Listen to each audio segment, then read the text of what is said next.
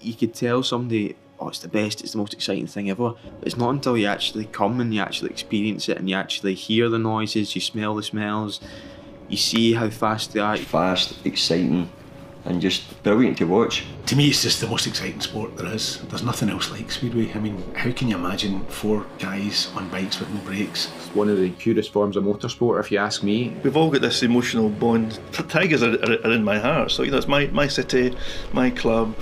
All the supporters here feel like, like my family.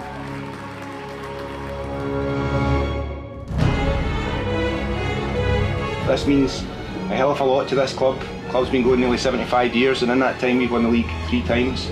And every Tigers fan out there can name every one of the riders that won the league three times. So you can be legends for these fans, you can be heroes for these fans. As long as you go out there and put your bodies in the line, and you can look each other in the eye after this and say that you could do no more, that's all you can do. And we'll get there. I know you guys can do it. I wouldn't swap any one of you for anyone in their team. So let's go out there and do yourselves proud.